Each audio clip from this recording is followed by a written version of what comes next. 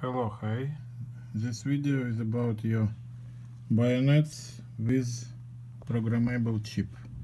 Now I show you how I check your bayonets with chip on my camera.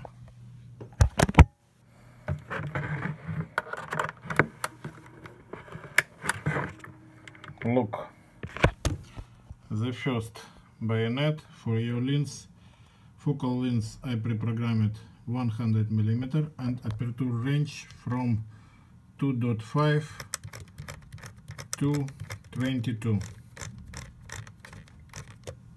look this is first bayonet with chip.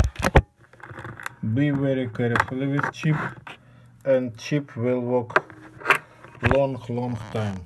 Look. Bayonet number one chip not the damaged full worked full pre-programmed.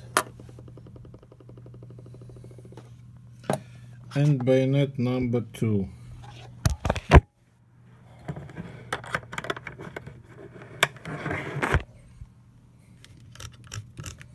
Look bayonet number two I pre-programmed for your lens.